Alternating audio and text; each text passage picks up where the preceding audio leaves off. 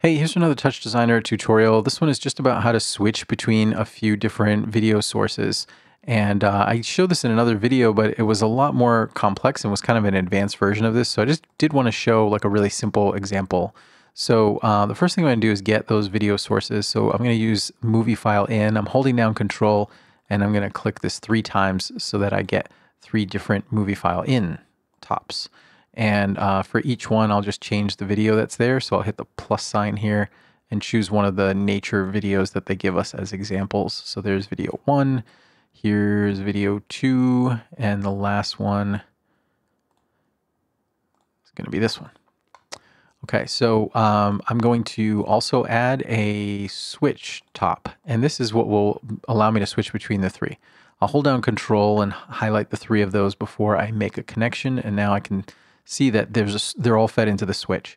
And if I change the index to anything from 0 to 1, it's the first video, 1 to 2 is the second video, and then 2 to 3, but actually 2 and up is the last video.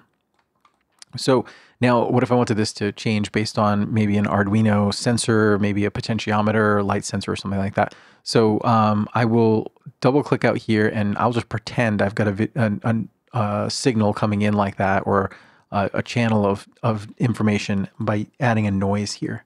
So I've got a noise chop and it's not moving, but I can go over to common here and choose time slice off, or sorry, time slice on. And now I can actually see it's it's moving about. Um, let me add a, no, a null top right after that because this is the thing that's going to become the index over here.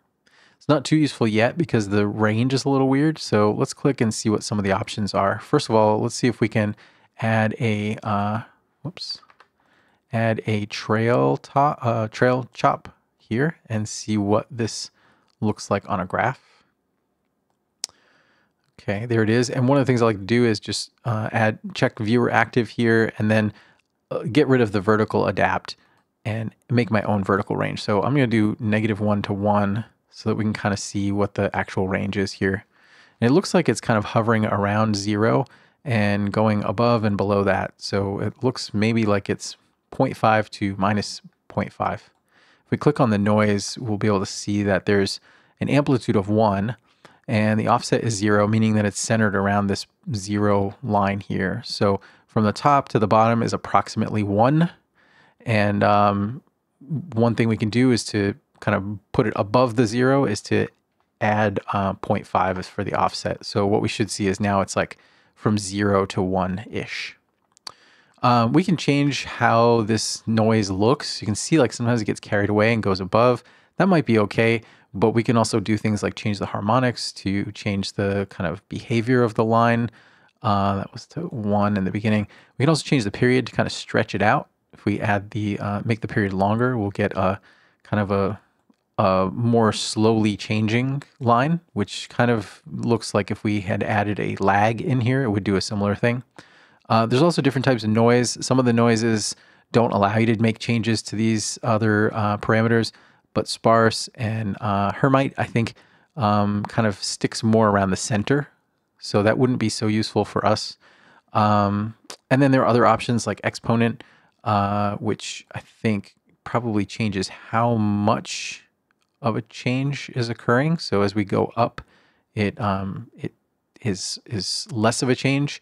And I don't know what the default was here. Let's reset that. Default was one.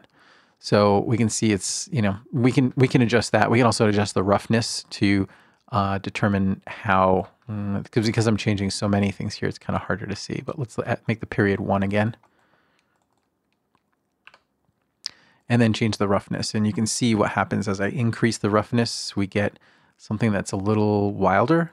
And if I lower that, then we get um, maybe like a tamer version. So it's, I mean, it's all up to you how you want the noise to look, but uh, we can also go back to roughly the beginning. We had 0.5 for roughness. Um, and like I said, increasing harmonics will give us a more jittery line but increasing the period will kind of slow it down. So um, you can also look at the help for noise, and there are lots of, I mean, I'm sort of stumbling through this, but there are lots of ways that you can uh, have more control over it. So um, let's just put this back at one. Okay. And let's reset this as well. Okay, so we've got something that roughly goes between zero and one, and it mostly stays around the middle, and that's a place where we could actually make some changes, but it seems like it, it kind of varies just enough to, to see what's going to happen here.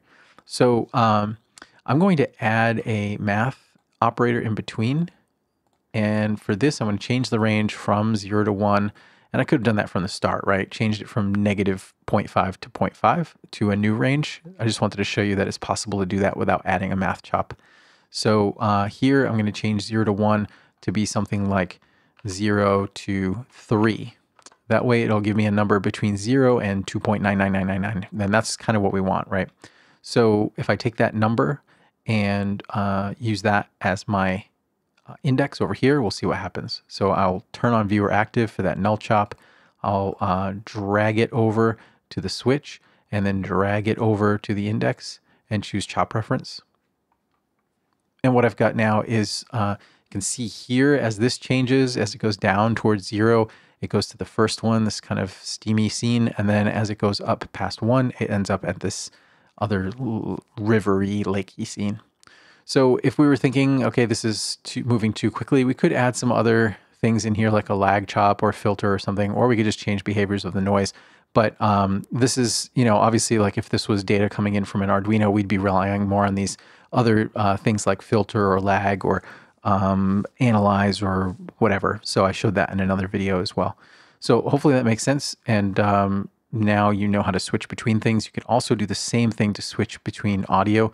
You would just end up using, uh, well, audio in instead of um, instead of movie file in.